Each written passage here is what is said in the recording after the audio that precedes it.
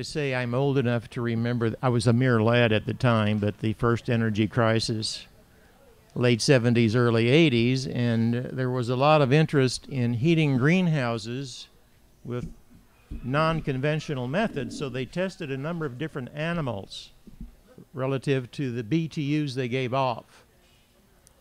Uh, guess which animal won? Not chicken. That's why I'm interested. Rabbits. Rabbits.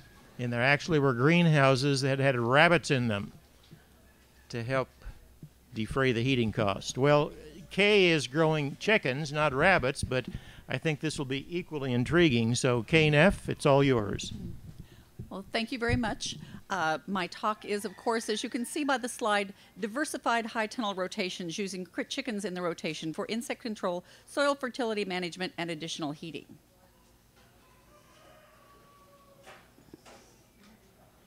Or how to foul up a high tunnel operation. When we applied for the grant, the, the objectives at our farm are fertilization, weed and pest control, heat management, and to extend the growing season. The problems that we were facing, uh, we are mainly an herb and produce uh, farm. I grow plants, and the plants are what we sell, and then we also sell the fresh cut herbs. Uh, and the high cost of propane was killing us in the high tunnels. Uh, managing soil quality and fertility in a chemical free system.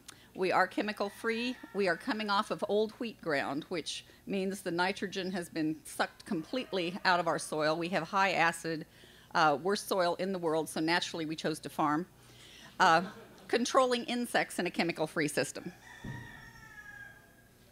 The solution, as I saw it, that would require the least amount of work for me personally, is a six plot rotational system with rotations of the herbs and the vegetables adding the chickens and fallow into the plots with a, a various combination of coverings on the high tunnels, the low tunnels, and to run the fallow plots uncovered or naked. Uh, chickens also were introduced into the plot system, both for the benefits of heating, fertility, and insect control.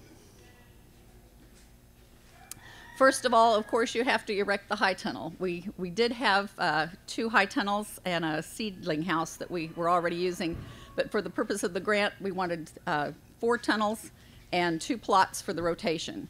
Um, how many of you have your own high tunnels? So you know the joys of putting up high tunnels. Uh, I'm from Kansas, so there is, there is nothing that blocks the wind from Oklahoma to Nebraska. And so about the midpoint is where we live, where it's really kicking up steam, sweeping across Oklahoma. So uh, the, uh, the, the high tunnel uh, erection was uh,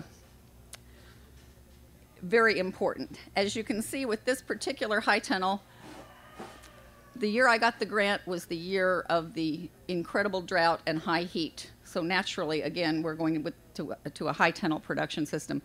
We had a plot of tomatoes that were already planted had not produced one single tomato. So we decided that's a great place for the high tunnel. We'll just put it over the tomatoes and see what we can do. So where the arrow is, that was the, the low tunnel with the tomatoes covered.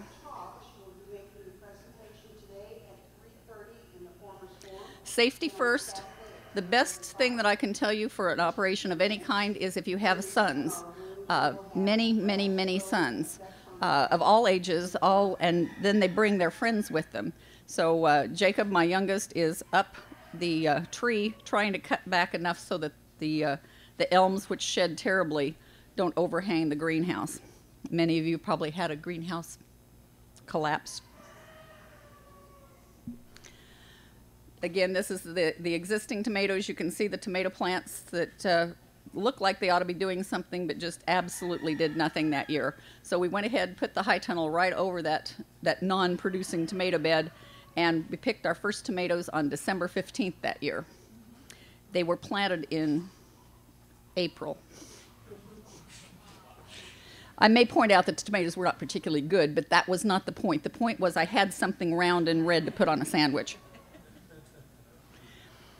Uh, again, putting up the high tunnel, the, the joy of pulling plastic. Uh, again, waiting for a day that is not windy in Kansas is is brutal. Uh, probably here in Missouri too, but in Kansas it is very tough. So we had all the boys on speed dial. And we said, when it's not windy, we're going to call you. It was not windy 10 minutes before sunset. They came smoking in. There's gravel everywhere. They go sliding through. We laid the plastic out. And this time, I, you all are familiar with how to, you know, tie the, tie the rope on the, the plastic. My middle son came up with putting a plastic bottle top from like a, a two liter bottle of Coke in and wrapped the uh, rope around that, held it a treat. I mean, it went right over, nothing pulled out. It, it literally took 10 minutes to get that tunnel covered. You can see the dark picture. That is after the wiggle wire was on, and we were literally in the complete dark, but it was up, and I was thrilled. I think I had a grant report to write like 10 minutes before we got it up. So these are the completed tunnels. Uh, this particular one, number one, has three foot sidewalls with roll up sides. Uh, this is the, the largest tunnel. This is where the chickens spend the most time because it's the largest area for them. And also the height of this particular tunnel makes it it's cooler in the summer and it's warmer in the winter because of, of because of its height. Uh, number two has seven foot sidewalls. They're Lexan sides. They are, are double wall Lexan, and that's the one that we put the brooder bench in for the baby chicks. Number three is a Quonset style. It, it has no side walls. It's just the, the Quonset, but the, the sides are able to be rolled up. Number four has three foot side walls like the other one, but it, we, we've set it up to where it can be covered with anything, uh, either wire or mesh or tarp or plastic or screen or nothing. Again, our main focus is production of vegetable and herb transplants. Uh, then we do potted herbs and tomato plants for sales at farmers market and planting and growing of produce for market. This is the first step. We ordered the chicks. I had had a car accident several years ago, so we had been without chickens for about four years. It was killing me. I'd buy the eggs in the store, and you know how you got your good hard shell at home. First egg I broke all over the kitchen. I hit that against the thing and it just exploded. So I said we were going to have we were going to have chicks and we are going to have chicks quick. So we ordered the chicks and in the transplant house we have the large benches. What we did was we made frames that went all around the base of the benches and this is where we set up the brooder. So after they get their first pin feather on, after I get them out of my kitchen, you know, and when they have their their chicks in the kitchen, yeah, that doesn't last very long. But that first pin feather boy, they're out in the greenhouse and they're under the brooder. So we've got the, the plant tables with the screen all the way around it and doors so that we can get in and feed them. And then they have two lights, two of the heat lamp lights are suspended underneath. So the plants on top keep the chicks warm, the chicks heat does the plant. And right away, I noticed that we had good root growth. My tomato plants, particularly, they were just way ahead of anything that I'd ever grown before. It, it's a it's a web bench top, but yes, I, the first thing I thought, oh, let's put plastic there so that when we water the tomatoes, we're not watering the chickens. So, yeah, it's it's solid, but it's because a solid bench just doesn't work very well. This one's you know just covered with uh, recycled greenhouse plastic is what I do when I when I change a greenhouse. I just save that. This is the plants over top of the of the brooder. Um, again, we just get such beautiful growth because they they've got that bottom heat rising, and it's it's worked a treat. You know, sometimes I have these dumb ideas that don't really quite pan out, but uh, so far it's worked beautifully. You can see there's hanging baskets across this uh, plant bench. When we brace the greenhouse, uh, my husband made V shapes, and we've got the the hanging basket poles across.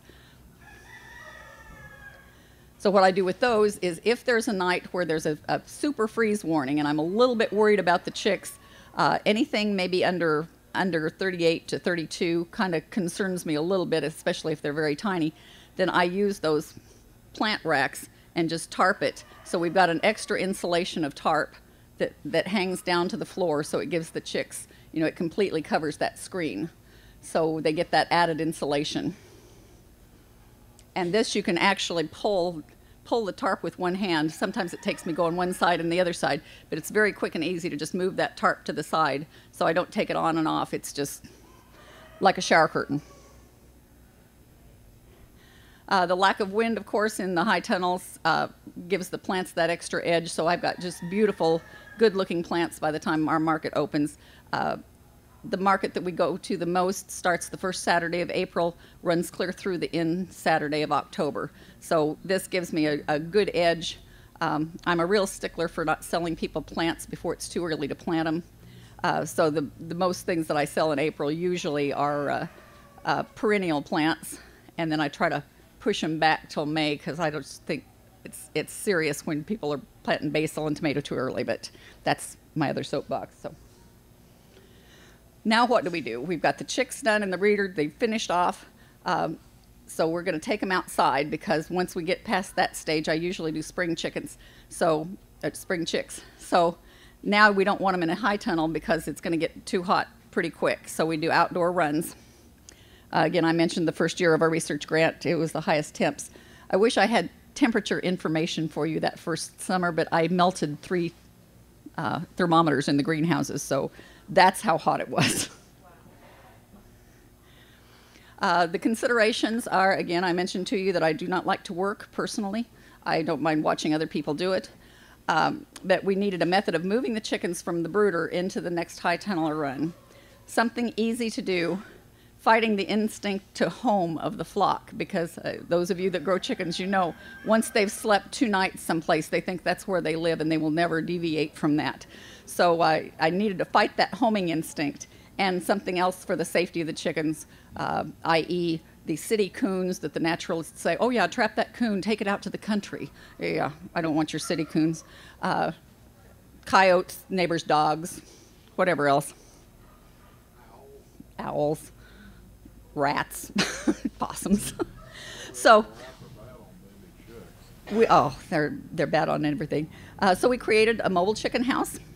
Uh, we did the the quick and easy frame. We didn't have to make it too big because they're not going to be staying in the house. This is just where they're going to go to sleep at night. Then we put it on an old boat base. We, uh, we had a boat trailer that we found. Uh, we put a heavy welded steel panel that's got the, the short um, the short grid, so the chickens aren't getting through it, and nothing really. Uh, a, a, mouse probably could, but but not a rat uh, could get through the base of it. The ideal thing about this is the the manure just falls right through it. There is no cleaning out of this chicken house. It's completely self cleaning. That's the part I like best. Okay, so then when we move it, it will pull with just a, the small garden tractor. We don't even have to get the, the tractor out.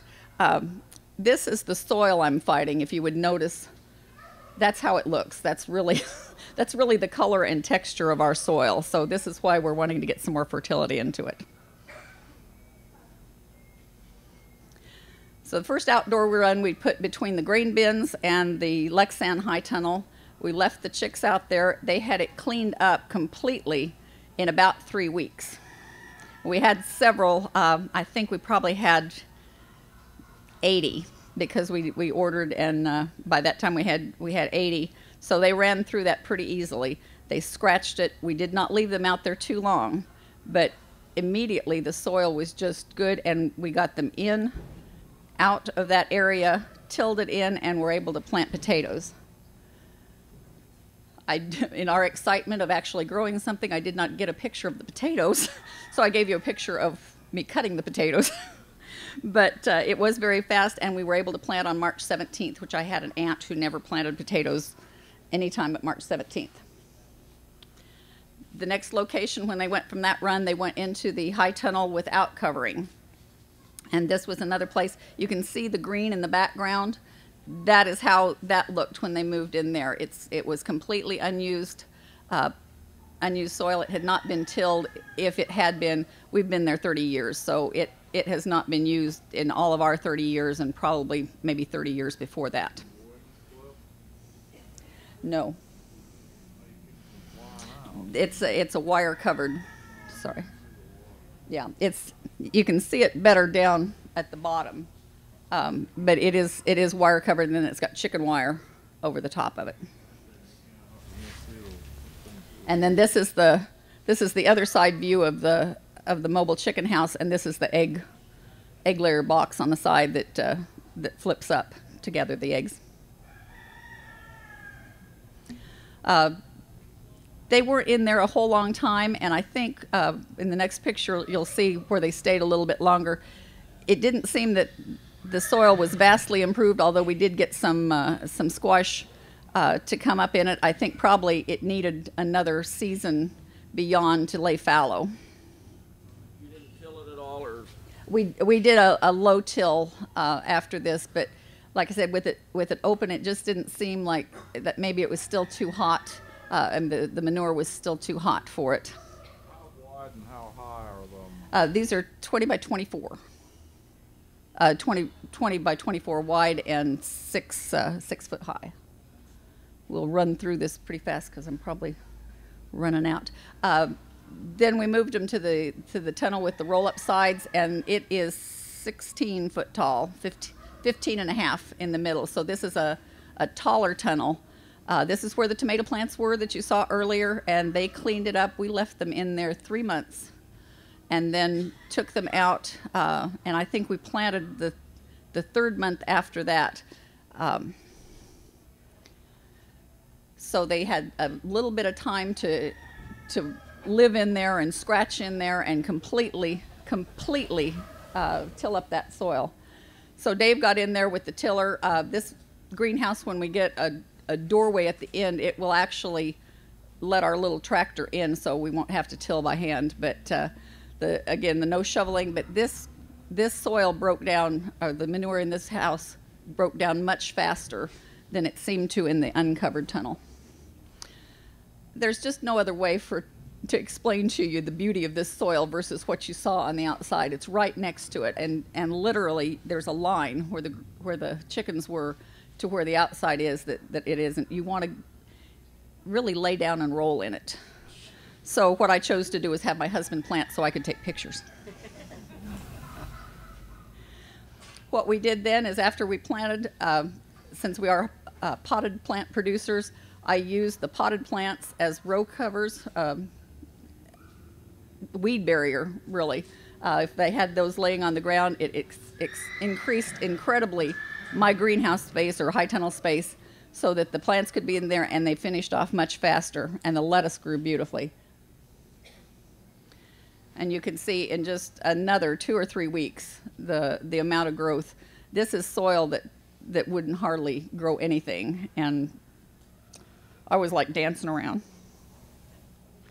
Uh, we actually had Swiss chard and lettuce for the first day of market. We have never had that before in our lives. Uh, just a quick marketing tip: listen to what people are talking about your stand. If you if you go to farmers market, I was selling Swiss chard right over left, hand over hand, and it wasn't my what I call my my older crowd usually bought the Swiss chard. Nobody young knew how to do with it, but I was having younger customers and younger customers. I thought, what are they doing with it? And I heard the term green smoothies, and I thought, well, that sounds interesting. So I went online, checked out green smoothies, went to work, made green smoothies for my office. I said, here, try this, and we posted uh, the QR code, which is takes them directly to my uh, internet site, and had a whole thing of uh, green smoothie recipes, and I doubled my sales by the next week because the the crowd that was buying it just had their their phones out there and snatched that.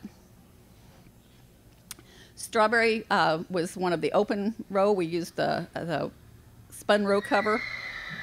In Kansas, again, you can see the success rate. It's hard to keep nailed down. It's hard to keep to keep on in our winds, but it did it did do its job and kept the birds and the chickens out long enough for the strawberries to, to kind of mature without a peck in every single one of them.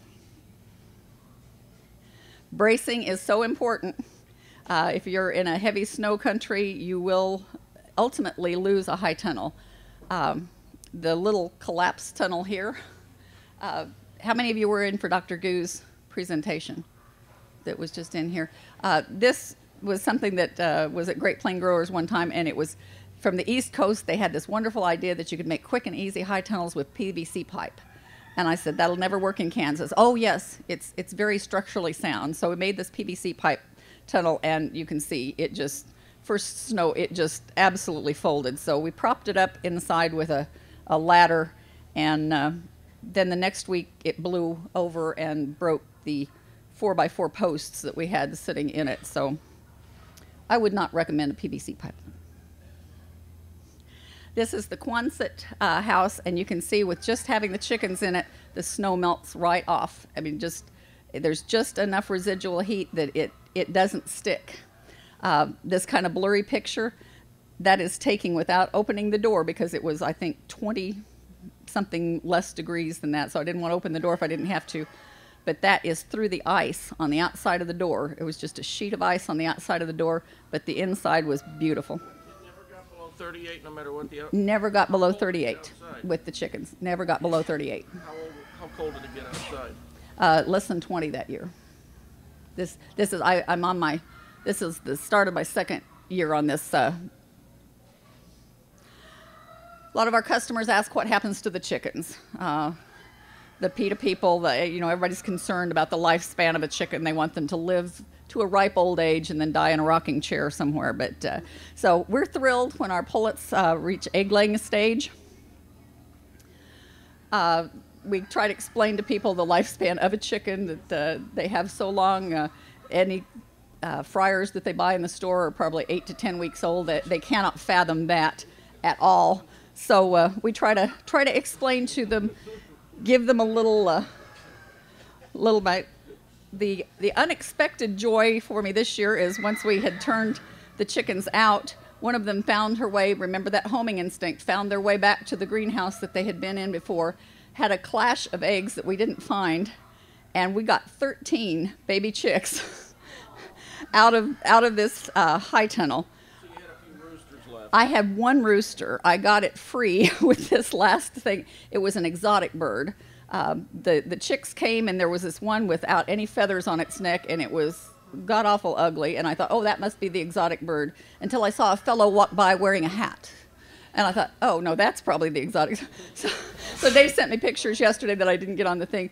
All of the babies have a little mohawk. so, so I'm anxious to see. We ha- have five different hen hen varieties, so I'm anxious to see these five different hens wearing a hat. One sound, uh, one sounds like a Turken or a, na- a It- naked neck. no, it was just deformed. It's also my best egg layer. Equal rights. You know you're going to keep your hens because they're producing something. I tell my roosters right off the bat they have the same opportunity. If they choose to lay an egg or set a nest, they're golden. They can stay. If not, we have other ways of dealing with them. I say serve or be served. I like that one. A lot of people think that's unnecessarily cruel to the animals, but I remind you that the tomatoes and the okra suffer the same fate.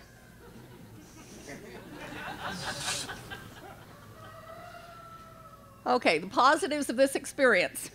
Beyond having my sons and husbands help tremendously with the project, it did add fertility to the soil almost immediately. We noticed an up in nitrogen. We use a lot of uh, wood chips as pathways.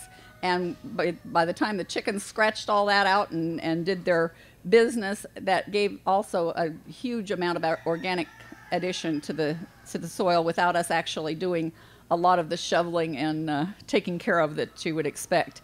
Uh, the extra warmth in the high tunnel was amazing. Only once in the last two years did the chickens' water even freeze, and that was just a little tiny scale on the top. Uh, so I've, I've been more than happy with the additional uh, heat. Uh, significant drop in pest population. I haven't had a really good way to monitor that other than visually, but the last two years with the heat, we've had terrible grasshopper um, plagues. And while they aren't out and about all the time, they have, uh, I think they've scared them at least. And our production, uh, particularly of vegetables, was up by more than 50% in the first year. Okay, we have about two minutes before we have to gear up for the next. How long did your chickens stay in the brooder?